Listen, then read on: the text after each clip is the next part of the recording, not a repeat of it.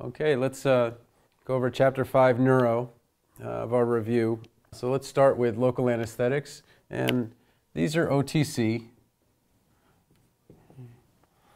Um, and what a local anesthetic is, is just something that's going to numb a certain area. Uh, anesthetics, when injected, uh, will make a person pass out. Uh, but what I want to talk about is the ester versus the amide. So benzocaine is an ester. It's a type of organic chemistry molecule. And that tells you that the esters we don't really want to inject because they can become allergenic, allergenic uh, where uh, a patient might have an allergic reaction. Lidocaine has less of that allergenicity, but they're both related by this caine stem, C A I N E, uh, and that might look like cocaine, and that's right because Cocaine was one of the original anesthetics, uh, and uh, they found or developed some anesthetics that weren't addicting. Uh, but if you look at Anbesol, you see two of the letters from the word numb, so that's one way to remember that one. And then Solarcaine, uh, Solarcaine takes the caine ending, uh, that's still frowned upon by the World Health Organization, but solar meaning sun, so we're uh, using something to take care of the pain from a sunburn. Okay. But lidocaine has many uses uh, an injectable in an emergency, uh, patch, uh, some other different things that it can be used for. Uh, OTC, anti-vertigo, so meclizine. If you put this, if I were to do meclizine in small letters, like this, M-E-C-L-I-Z-I-N-E,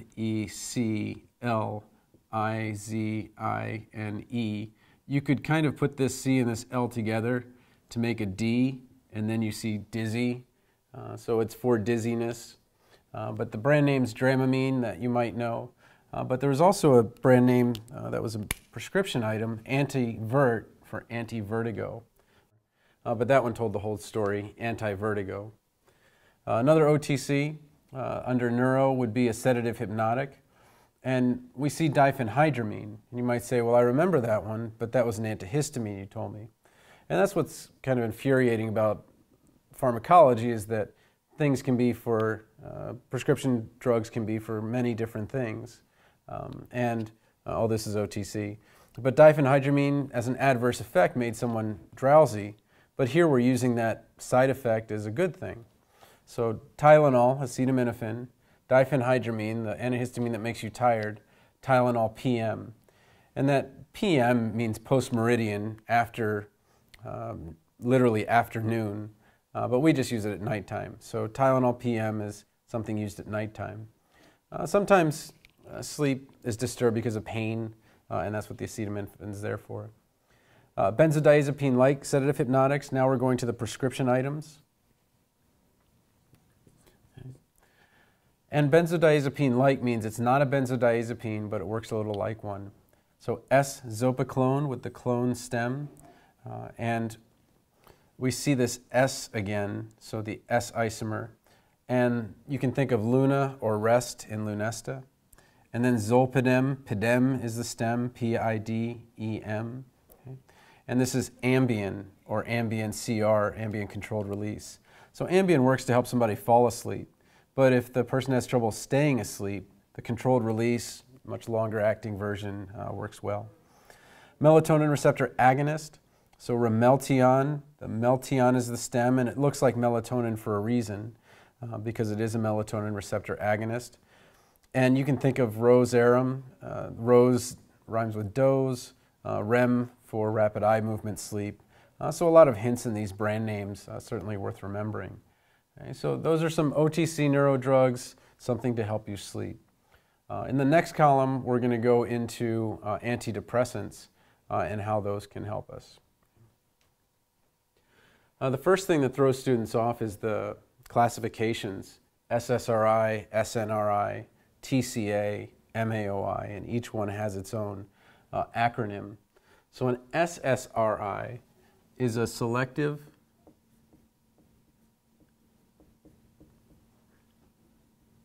serotonin reuptake I didn't think about space there, inhibitor. Okay. And that means that serotonin is going to normally be reuptaken, or if you want to think of it as recycling, that's maybe a better way. But instead, what happens is we inhibit that recycling, it stays in the synapse, and it's supposed to make the patient uh, happier. It's that um, hypothesis of norepinephrine and serotonin uh, not having enough of it. Okay. Um, so there's five of them I'm going to go over. Citalopram and escitalopram. We see two drugs with the same root, just like we saw esomeprazole and omeprazole. Uh, Celexa was the first one that came out. It reminds me of Relax. Uh, these SSRIs can also be used for anxiety.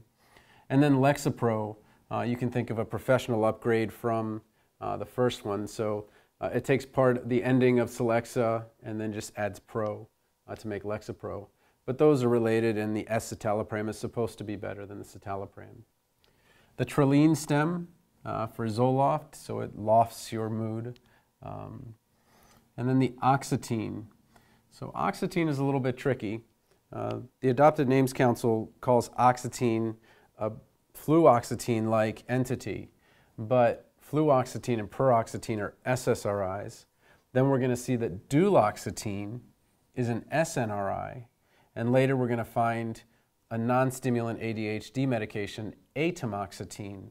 So this oxetine ending you really have to be careful with. Uh, fluoxetine is interesting. It's got two brand names. Uh, Prozac was the first brand name that came out. It was an antidepressant. It sounds like a strong drug uh, with the P, the Z, and the C, or with a K sound. And then Sarafem, I'm not sure what they were going for. A seraphim, it's like uh, the highest angel. So maybe it was the work of angels, but that's for something called premenstrual dysphoric disorder, PMDD. Uh, paroxetine, Paxil, and then Paxil controlled release. So again, another uh, medication that uh, works a little bit longer. Uh, then we have the serotonin norepinephrine reuptake inhibitor, and I'll try to do a little better job uh, with my writing here. Serotonin norepinephrine, and I'll abbreviate it NE, reuptake inhibitor. Okay. And so we're just affecting different neurotransmitters where selective serotonin reuptake inhibitor was just serotonin. Now we're talking about serotonin and norepinephrine. Uh, again, the oxetine, be careful with that. It's supposed to indicate a SSRI. Uh, Cymbalta. Uh, so my uh, mnemonic was to remember that cymbal players would always seem to be happy. And alta means above in Spanish, so uh, higher mood maybe. Uh, then the faxine is the stem here in venlafaxine and for Effexor. Uh, so that's a way to remember that one. The TCA, so this SNRI and SSRI are, are both named after neurotransmitters, but amitriptyline is named after, or the tricyclic antidepressant is named after the three rings. Um, so you can see that TRI in the stem, triptyline, and Elavil elevates your mood. Uh, isocarboxazid uh, didn't have a stem that I saw, uh, but I had a student that said I so carve boxes, and it just seemed very sad. Uh, so it's a monoamine oxidase inhibitor. So mono, M-O-N-O, A-M-I-N-E, an oxidase uh, inhibitor. And what that monoamine really means uh, is that we're still kind of going back to serotonin, which is a monoamine, uh, and that we're affecting it, we're just calling it by a different name. Uh, smoking cessation. Uh, so bupropion was first uh, an antidepressant. It was Wellbutrin, so ideally you would get well um, or get out of the rut you're in. So you see the RUT and then IN in there. Uh, but then they found that a lot of these antidepressants stopped smoking. They said, oh, this is great. Let's make it an anti-smoking drug. So they renamed it Zyban or repackaged it that way. Uh, varenicline, it's Chantix. Uh, so the nicline stem uh, indicates a smoking cessation uh, medication. And, and uh, I had a student that said in a southern accent, well, when I take varenicline, I'm very inclined to quit. So, or with Chantix, uh, it's my chant is that I don't need my fix. So anyway, it just stuck in my head. Okay, so Uh, these are antidepressants, all the way down to bupropion, which can also be used for smoking cessation. Then varenicline is uh, specifically a smoking cessation medication. Uh, next, we're going to go on to some anti-anxiety, then ADHD uh, medications and antipsychotics as well. So the first thing with the benzodiazepines is that on a lot of YouTube channels, you'll see LAM and PAM are stems, and that's just incorrect. Uh, you want to be careful because there's a drug lamotrigine, which is an anti-epileptic, and there's verapamil, which is a calcium channel blocker, and that's for high blood pressure. Those are not benzodiazepines. So use the whole stem, azolam or azepam. Uh, Xanax has part of the word anxiety in it, so easy enough to remember. Versed, I can't remember the verse you just said. Klonopin uh, and clonazepam are very similar. And then Ativan, um, I don't even remember what I used for that one. So, but really stick with the generic stems. That's what uh, you want to use for the benzodiazepines.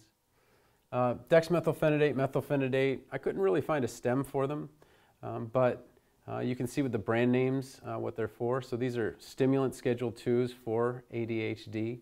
Uh, they can help you focus, focalin, or they can help you concentrate, uh, and they just kind of turn the last couple letters around there.